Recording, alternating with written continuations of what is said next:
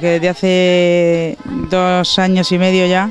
llevamos sufriendo agresiones y atropellos los docentes, tanto de aumento de horas, recortes económicos, eh, pérdida de condiciones en la calidad de enseñanza. Todo lo que se recorte en educación afecta a la, a la sociedad en general, puesto que estos niños son los, los futuros adultos que tienen que regir nuestros destinos. Haya un- el mayor apoyo posible para, para protestar y para reivindicar y para que vean que sí que estamos en contra de todas las medidas que llevan implantando de forma unilateral desde hace ya pues más de dos años. Y que hay que parar y, plantar cara algún día. Y ahora tenemos una buena oportunidad con la herramienta de la huelga que la gente que se quiera sumar que quiera apoyar no hay que hacerlo todos los días sino que sumen algún día eh, que sumen las acciones que vamos a hacer que estamos haciendo desde el lunes que empezamos la huelga estamos en una acampada en la puerta de la consejería Es necesario que esta lucha se una. Esa división que algunas veces artificialmente se hace entre un colectivo y otro eh, redunda en nuestro, en nuestro perjuicio, ya que el trabajo que no le dan a unas personas repercute en la sobrecarga de,